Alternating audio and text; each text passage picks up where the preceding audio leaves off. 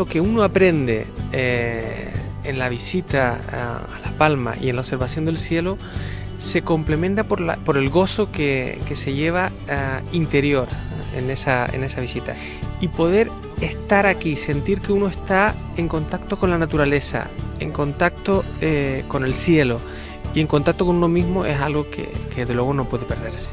En primer lugar, pues nos posicionaremos donde nos encontramos, reconoceremos el cielo, buscaremos algún truco para que de alguna forma, pues cuando vayáis a vuestra casa, si tenéis ese gusanillo, pues podáis seguir practicando, porque esto no es algo que en una hora y media pues nos vayamos aprendido con todo, es muy, muy grande el universo que tenemos encima de nosotros. Pero mira el aro, los anillos, cómo se ven. ¿Tú ya miraste? Qué maravilla es esto, ¿ya lo viste? Me ha conectado con, con, ideas que tenía y con recuerdos de, bueno, de la infancia, de, un cielo pues bueno, parecido al que he visto aquí, pero aquí pues mucho más intenso y, y también más, mm, mm, más interpretado. Eh, conocer lo que, lo que ves en, en el cielo es, es una experiencia, la verdad, que única.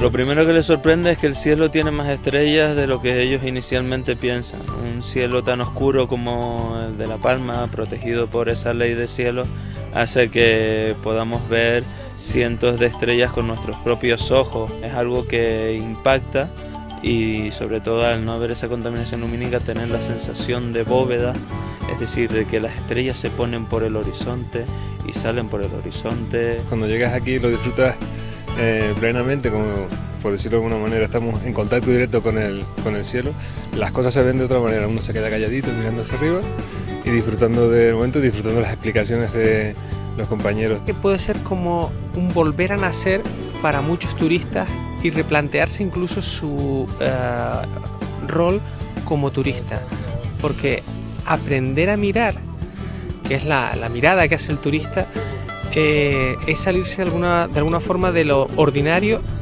e ir a lo extraordinario.